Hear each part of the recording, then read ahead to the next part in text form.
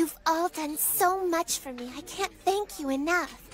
I've prepared a present for you from the bottom of my heart to show you how grateful I am for everything you've done here. I'd be honored if you'd accept it. A real caravel! Are you actually giving this to us? Mm-hmm. As a token of my appreciation. It's a slightly older model, but I personally designed it and she sails like a dream. She has a Carvel-make caravel with lateen sails and a central stern rudder. She's a fine ship and her name is the Going Merry.